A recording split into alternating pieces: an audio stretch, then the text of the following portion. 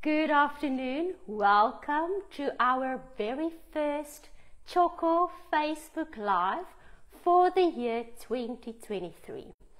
Um, I am so excited to be back. I hope that all of you have rested well and that you are energized for a new year, new things, new excitement. Um, I have a very big supporter with me during this live session and Maestro would love, af. Maestro would love to wish you all a very happy new year. He's been a great help in the preparation of this. Um, whenever you are watching from, and this is a sincere welcome to all our family, Tjhoko family members across the world, whether it's Switzerland, Ireland, Australia, Scotland, Zimbabwe, Namibia, Botswana, and very importantly, my family, Tjhoko family, right here in South Africa. A warm welcome to all of you. The reason and the objective for these creative sessions is to unleash creativity, to give you the tools to be creative and to be an inspiration. So, nothing that I say is cast in stone. I am just here to give inspiration and hopefully you will get busy in creative things because there are so many healing tools in being creative. Today we are going to upcycle this very old piece um, of furniture. It's a chest of drawers. Something that I have done behind the scenes because with the Facebook Live it's actually very difficult to show all the steps. So I need to think what is important in showing. I have sanded off the top. So the top has been sanded as well as the framework of the piece. So I've used a Ryobi mouse sander and for my fellow South Africans, you do get these in a battery operating option. So you don't need electricity to sand when you want to sand. So this is actually a very helpful tool because you can, with a mouse sander, it has a sharp edge so you can actually reach all the grooves, the crevices, and the detail to make sure that your sand work, sanding work is done properly. Sanding is still a tedious job.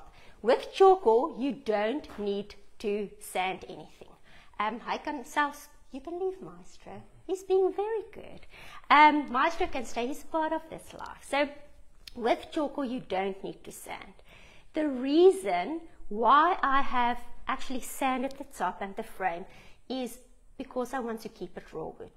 So I don't want to paint it. Now, very important when working with Tjhoko, and just bear with me, the, those of you that do know the steps.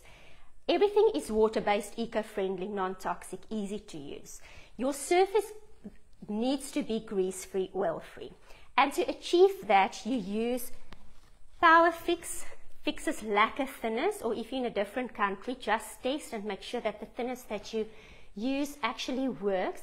What the lacquer thinners does, so don't use benzene, um, sugar soap, turpentine. Um, what the thinners does, it etches the surface and it removes any oiliness or greasiness so that your paint can adhere to the surface. I have, this was, this was done properly. I've used a scotch pad this is also the coarse side of a kitchen sponge. So you find it on the coarse side of a kitchen sponge.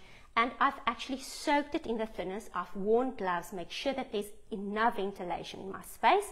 And I've scrubbed down this piece on the areas where I don't want to sand, but I do want to paint. So this is the greatest preparation with Tjhoko. No sanding required, but a thorough clean and wash with lacquer thinners. Especially on an old piece like this, where there's um, numerous coats of oils and furniture polishes on it. Okay, I was thinking, so that has now been done, and in, in real time, you will now allow a 40 minute drying time for the thinners to evaporate and dry before you can start painting. So while we're waiting for the thinners to evaporate, I'm going to continue to this step. So we are all, all of us that do have children in school are busy wrapping and covering books, school books. We are busy covering books like crazy people. And I just thought with Tjhoko, the main objective, as always, is to upcycle, to reuse, repurpose. And we all have wrapping paper, brown paper in our homes at this stage. So we're going to be creative with our brown paper, the just normal paper that we cover books with. And I'm going to show you a nice creative way of applying a stencil technique and also then use our paper as a decoupage medium. Um, colors that I will use. So thank you for those that were part of the this or that adventure. So on our Facebook page, Tjhoko Paint, and also the St. Francis Potch, the Eniging at Randfontein page, we have asked to share your opinion. Should we use um, Comforts Blue or Super Sonette on our furniture piece? Comforts Blue was the winner, although I'll also share some ideas with Super Sonette. Remember, very importantly, is that color is a personal preference. So you will work with a color that suits your style, your decor style in your house, and your personal preference. Um, the, the steps and the techniques will remain the same. I've, I've given a good shake to my tjhoko paint, and now I'm going to start. So I have a stencil brush or three available. I have my wrapping paper. I have a Tjhoko Paint stencil, the code 2230-8, and this is what the design looks like. And I'm going to be working with the colors Comforts Blue, Cloud White, Holiday's Coral, Savvy Steffi, and then I'm also going to incorporate um, Super Sonette. I have a small jar here. I'm also going to make use of Super Sonette. And then the technique I'm going to use is inspired by a 13-year-old friend, Mia, from Oyster Bay in the Eastern Cape. So she is so creative with the things that she attempts and creates with Tjhoko Paint. Mia, thank you. Van Aswegen, Mia van Aswegen, thank you for the inspiration. This is a tribute to your creativity. I'm going to start with the color Holiday Coral. I have my stencil brush, and for those that are new, um, the main technique when doing stencil work is to use very little paint. You don't want the paint to seep in underneath your stencil. So what I do is I use an old rag, I remove excess paint, make sure my stencil, is, stencil brush is nice and dry. And then due to the fact that I'm working on paper, I won't be, um, it won't be possible to apply masking tape to secure my stencil. So I'll need my free hand to do that. And I'm going to select areas. So I'm working in circular motion. And here and there, so I secure my stencil with my free hand and I press quite hard that the stencil doesn't move. This is actually a very creative stencil technique. So no anxiety is caused by this technique if you make mistakes, you will see at the end of the day, nothing will be possible, not, nothing will be visible. No errors will be visible. And the lovely thing about yoga, and this is something that I always mention, is that anything can be fixed. And if you're not sure how to fix, we have a lovely supportive community. Either email support at tjhokopaint.co.za or join our Facebook group Tjhoko Creations, um, both South Africa and Australia at this point, and we are there to assist and make sure that every project that you attempt is a success. So I am doing some holidays coral dots here and there. Mia, I. Nadine, we have some questions. Okay, we have questions. Okay, while I'm doing this, I'm going to tell you what I'm going to do next, and while I'm busy working and doing the technique, Kaylee will read the questions to me and I will reply. So I am going to continue with the same process. Little paint on a stencil brush, But now I'm going to work with the colors, first Savvy Steffi and then Comforts Blue, in between to cover all the areas. Okay, while I'm doing that, Kaylee's going to ask the questions and I'm going to answer. Yes, Kaylee. Okay. Aan watter kant van die breinpapier werk jy, die binnenkant of die agterkant? That is a very valid question. So the question is, on which side of the brown paper do you stencil? The shiny side or the matte side? I stencil on the shiny side because we will actually use the matte side as the, as the area where we are going to stick it to our surface. So stencil on the shiny side of the brown paper. Next question, Kaylee. That will be all for now. Okay, that's the- the. Okay. Are there any questions that you think, Kaylee, is valid if someone watches the YouTube video that, that they need um, any answers for? I have a question. Is it hot in the Eastern Cape? It's boiling hot. I am actually boiling. Where I'm standing here, please pray with us that rain gets to our area. We have water restrictions at the moment, and it's really um, almost unbearable the heat. Okay, so now I'm going to Comforts Blue, and as you can see, I'm not doing it perfect. Some areas are open, other areas are covered. Also, once again, depends on you. If you want it perfect, you do it perfect. Um, I think so many times we are concerned about what others think and what will my um, neighbors say if I do it like this. I'm just using an example. Stop worrying about what what others' op- opinions are. Do what makes you happy. And part of being creative, it's a creative process. So it's a learning curve. It's also a tool to discover yourself and to discover what are the things that make you happy and what colors are you comfortable with. Okay. Okay, we have another question, but it's not about the paint. Okay. Um, het jy armbande gekoop? Oh, my hat, my bracelet, my bangles were given to me by a, by a friend. Um, but there is actually someone in Mossel Bay, but I can't remember now her details. If she's maybe watching, she can gladly share her details and she does them. Okay, now I'm lifting my stencil. Okay, and I am repeating my stencil. I've tried to figure out the repeat pattern of this this afternoon. So tjhoko paint and the code is facing me and I'm working from the right hand side, my right hand side. And now I move it over to my left hand side and if you start working on a flat, on the edge of the paper where it's actually flat, it's very easy to find the repeat. I think I'm going to struggle now, but the process will make sense. There it is.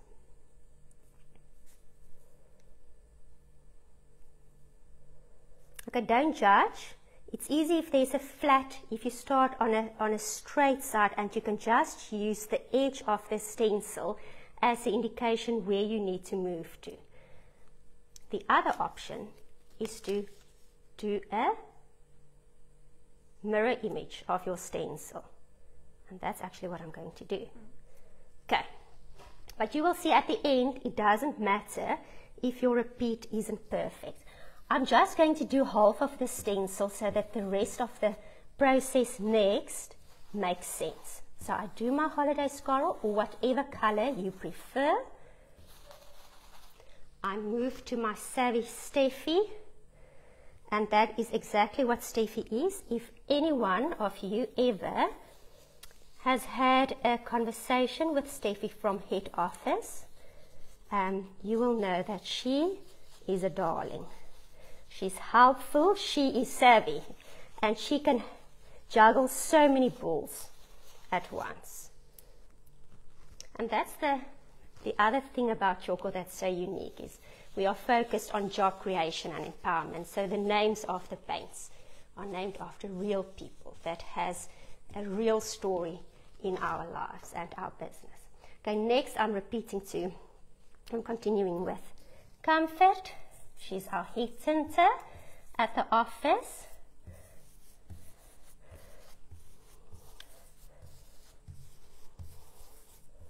Okay, so this is very playful.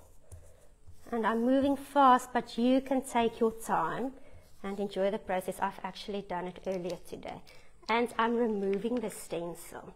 Now what I'll be doing next is I'm going to work with Super Sonette next.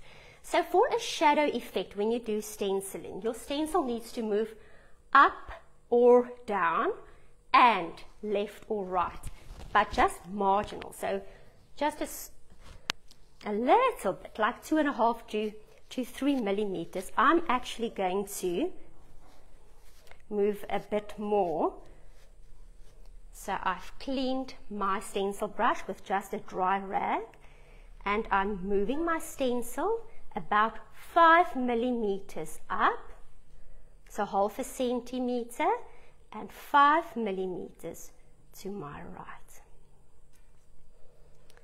I dip my stencil brush in Super Sonette, that's exactly what Sonette is, a superwoman, and dry and what I do is I just roughly spread it over my existing stencil work and it doesn't need to be everywhere. So I touch here and there with Super Sonette. This will be a lovely technique to do on a wall, to create a wallpaper pattern um, on a very affordable budget. Okay and I'm removing and I'm continuing with the next one. Okay, that was turned upside down, so let me do that. Just make sure every time if you do twist the stencil around that your stencil is dry.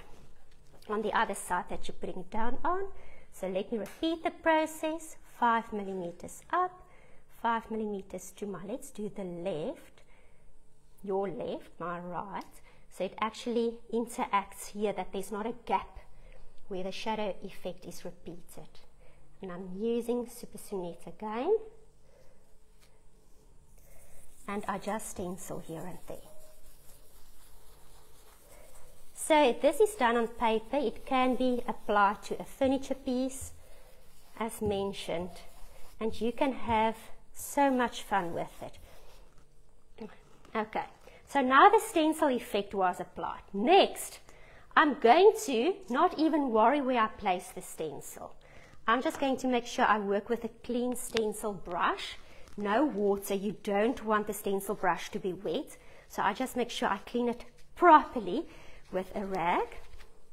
Take some cloud white, dip it, dip the stencil brush in my cloud white, remove excess very lightly. This needs to be very lightly. I'm just going to brush with my cloud white and I've just placed my stencil almost in the center of what I've already created. And as you can see the other way around.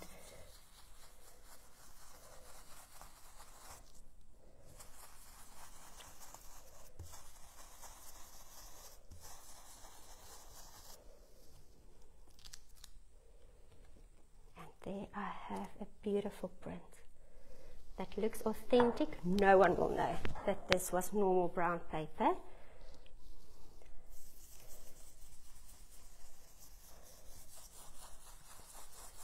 So this is really dry, dry, dry. And remember, you can use any color. Okay, now that this is done, I'm going to show you what my finished one looks like. And there is pattern, pattern and color. So earlier today, I've done a piece.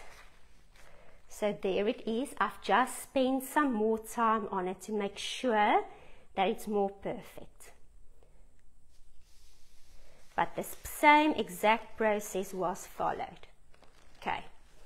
Now, I'm going to cut it according to size.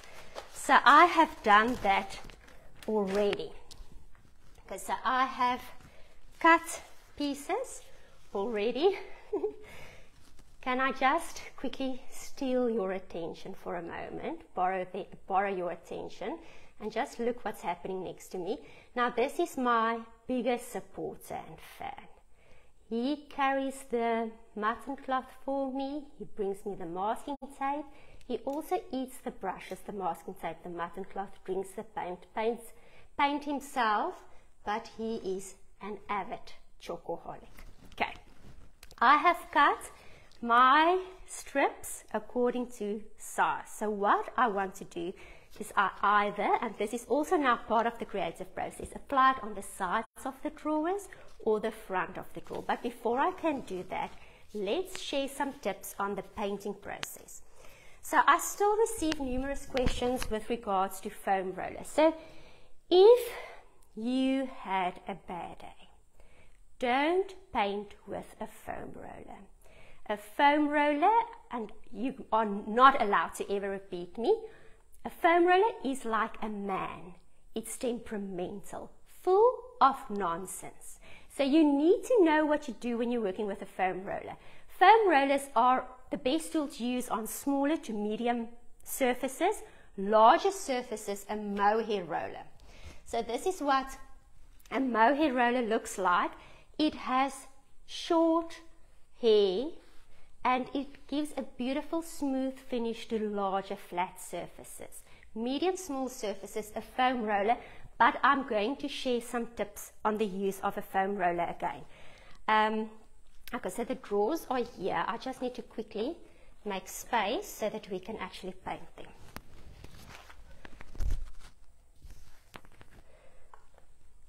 So the cleaning work was done properly. Um, I have removed the handles. Tip, if you upcycle an old piece of furniture, sometimes it makes a huge impact. By painting and still keep some exposed wood, um, I love wood and on, on areas like the top and where you can see the, the actually the the character of the wood, I like it to, to remain to remain in the raw wood finish. These were the handles that, that were, were on this on the um, item and I did remove it and I'm, am going to replace it with knobs that I found in our St. Francis store. I'm going to start working on this drawer. Okay, now next step. When you remove drawers from an item, mark them, number them, so you know exactly how to put them back because each drawer has its special place where it needs to go into. Um, Kaylee, I think I'm going to paint. Will you move back? And then I'm going to move to the front of this unit so that I actually paint there and just walk over my strap for a moment.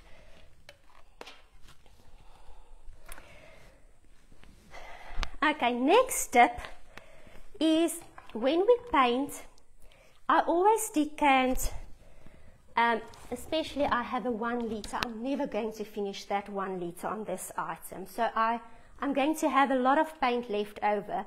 I don't want to work with my applicator, my paintbrush, my foam roller in my paint jar. Because whatever is um, on this surface that can cause any mold build up or um, the paint of being um, contaminated will be transmitted from your paintbrush to, to your paint jar. So what I do is I decant some paint in a paint tray and Helene um, Vermeulen has a lovely tip. She put some plastic underneath and then you can clean your tray easily afterwards.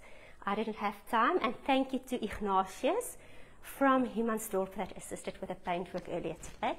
Okay, so I am going to show you how to work with a foam roller. Let's do this. So my paint is evenly, well let me do it with you. I evenly distribute my paint into my roller. So make sure that there's even paint everywhere. And this is why you have this section on your tray, is to remove any excess paint.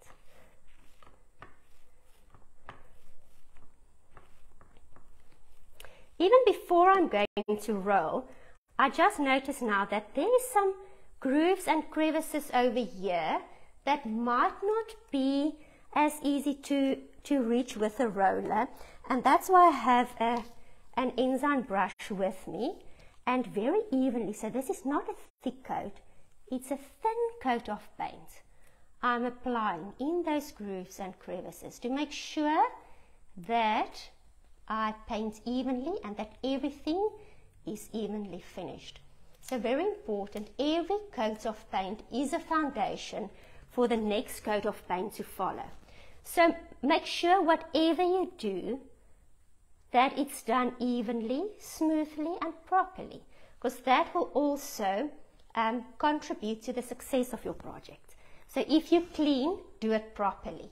If you paint, do it properly. If you need music to calm you down, switch it on.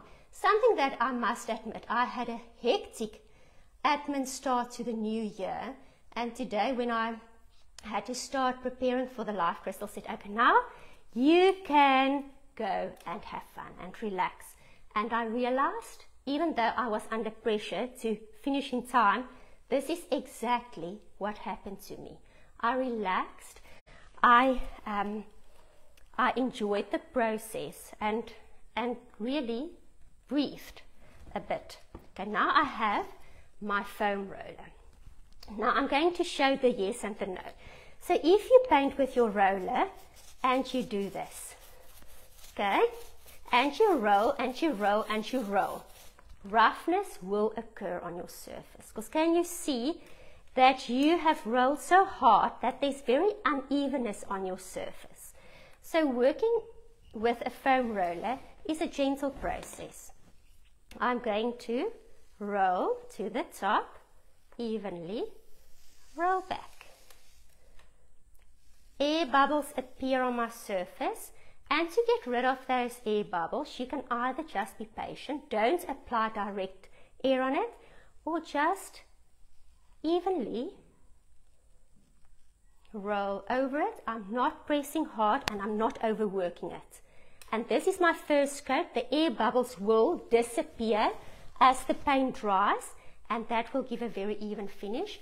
I'm just going to do the same here that everything is done evenly, smoothly and nicely. I'm not pressing hard. I'm not overworking my roller. And this is my first coat of paint. Now to apply my second coat of paint, I'm just want to remove those um, unevenness there. To now add my second coat of paint. Tip, allow for your first coat of paint to dry properly before you start painting your second coat, else there's also a chance that roughness will occur, that it, something will look uneven, because if your paint hasn't dried properly, you're actually lifting it from the surface that um, where the paint is busy set, setting and gripping. Okay, I'm going to leave that, that it run. It's as simple as that. Okay, don't overwork your foam roller. And to the men out there, I was just making a joke. We love you so much. Okay, then next step. And I'm going to continue to work here. Okay, so there's just one coat of paint on the side, but I do want to show the process and I have okay so this is a live session it is very true sincere um, and no nonsense attached to it okay so these are the sides of my drawers that I do want to add the the paper to and I'll show you I've done it to the front of another drawer so how am I going to do this? I'm going to do the following. I'm going to, for safety's sake, paint some glaze. So what do I have here in my meat bak?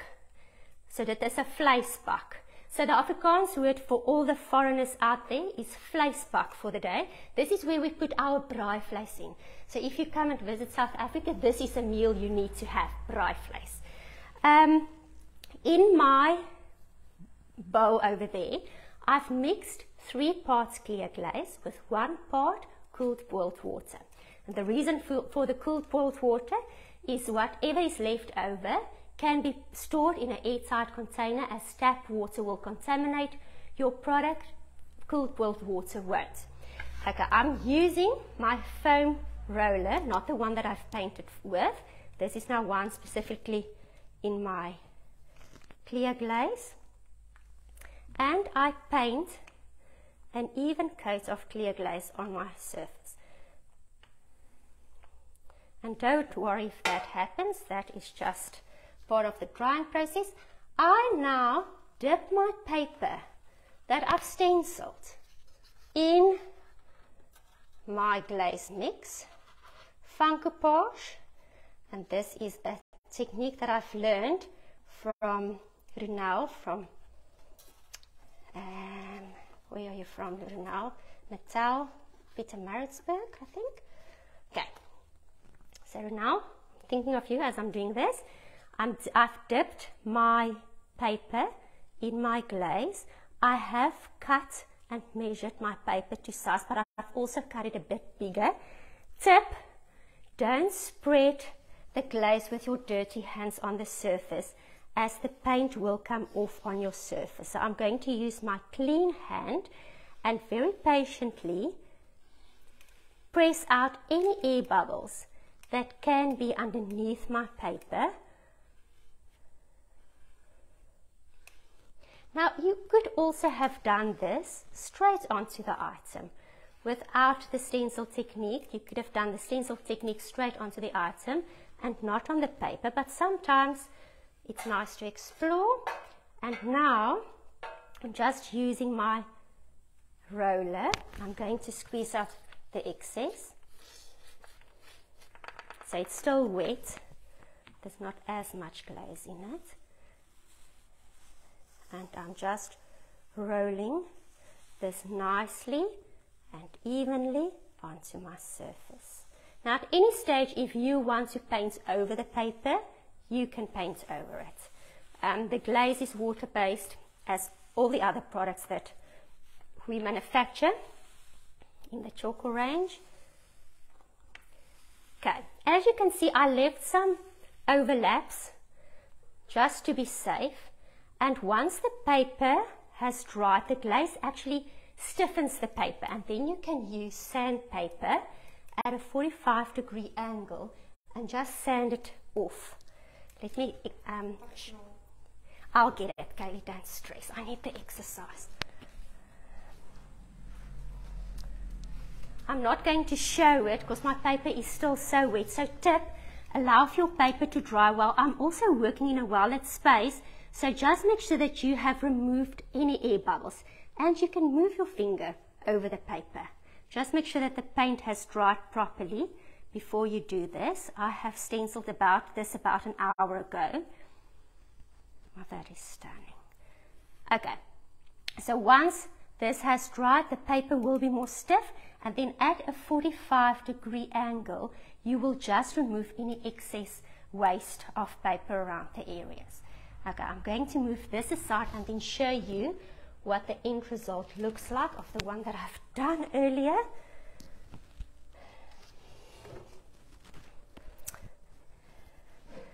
And there's, uh, and Kaylee, you need to um, instruct me on the light because I don't know what the light looks like through the screen. So this is what the stencil technique looks like on the drawer that we've done earlier. Okay, the last technique that I'll be sharing with you, and this is also optional, is just for this and questions that we've received during the week on how do I make my wood lighter, quick. You can bear with me for two minutes. This is quick and easy. I just want to make space and as always, I will finish the entire item and um, we will post it on our social media pages so that you can see what the end result looks like. So I and Super Sonette, here's where you will be so, um, so important. Please remember, and I'm repeating myself, that Color is a personal preference. If you want to use a natural tone, do it. Do what makes you happy and colors that you feel comfortable with. I always say, and I'm repeating it again today, we live in eclectic times. There aren't any rules. We can be happy all the time. I've just made a mess here now. Okay, so what I'm doing is I'm wetting my wood. Because the next step that I will be doing is I will be washing my wood, give it a lime wash technique, so that it actually just becomes a lit, little more lighter. So, very important to do this technique. You do, you do need a raw timber, um, raw cement or raw brick surface. So anything raw. I'm now going to use Super Sonette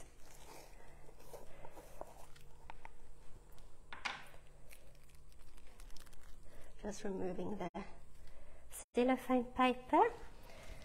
So this is Super Sonette, the color I'm going to use. I'm really getting a workout here. You don't need to work this messy. I am applying some Super Sonette on a cloth, damp cloth. For any paint technique, make sure you have a damp cloth because that just allows the even transition on your surface and the ability to manipulate whatever you're doing. And I am wiping my Super Sonette on my raw wood. So I still have a raw timber look and feel, but with just a lighter tinge to it. And I'm working with the grain of the wood. And on the on the wood, due to the age of it, you could see it was it's really an old piece. There are imperfections, and that is fine.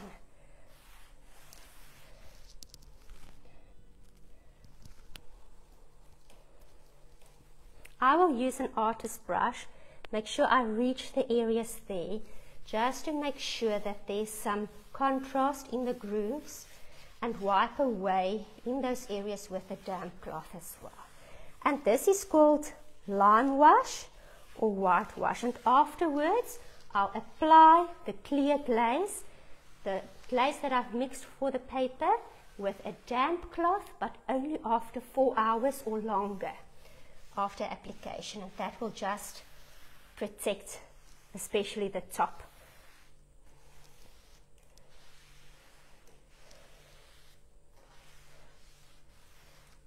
And this is also now being experimental and try, so immediately I can see that it needs some more lightness.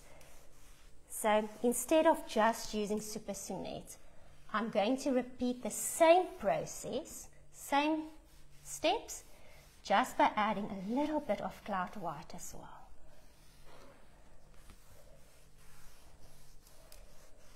Ah, and I've seen so many beautiful things, especially on the Tjhoko Creations page. If you have not joined that page, just do it for your own sanity's sake. They are the most beautiful creations. I am inspired, inspired every time I visit that page. And well done to everyone that share their entries there or their inspirations and ideas and projects. You are all amazing.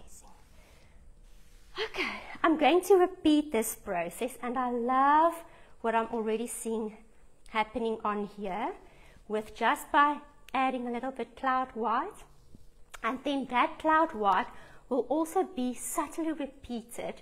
Um, you will see the repetition on the drawer that I've stenciled. So there will be a repetition of that tone in the drawer and then I have selected these knobs so there's a variety of knobs um, that I'll use on the, on the item.